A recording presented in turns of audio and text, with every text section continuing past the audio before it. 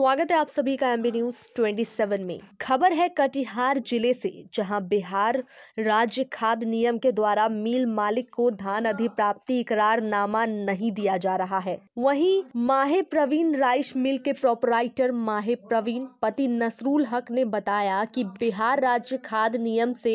मेरा मिल रजिस्टर्ड है लेकिन उसे बिहार राज्य खाद अधिप्राप्ति के हक से वंचित रखा गया क्योंकि उन्होंने ऑफिस के सहायक कर्मचारियों को रिश्वत देने से इनकार कर दिया इसीलिए उनके साथ सौतेला व्यवहार किया जा रहा है जबकि दूसरे proprietor H C rice mill और